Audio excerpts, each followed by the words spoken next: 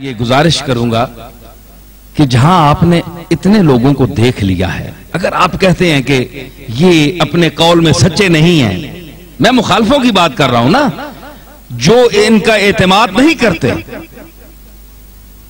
اگر آپ نے ان کو دیکھ لیا ہے تو ان کو بھی دیکھ لیں۔ لیکن انشاءاللہ میں یہ سمجھتا ہوں اور میرا اپنا خیال ہے، بلکہ یقین ہے کہ اتنا پڑھا لکھا آدمی قرآن و سنت کا عالم اور صوفیاء سے نسبت رکھنے والا آدمی اتنے بڑے مجمع میں کبھی جھوٹ نہیں بول سکتا۔ بلکہ جو اس نے کہا ہے، اس کو وہ پورا کرنے کی کوشش کرے گا۔ اور مشائق ازام علماء امت کو بھی چاہیے کہ وہ ایسے شخص کا ضرور تعاون کریں۔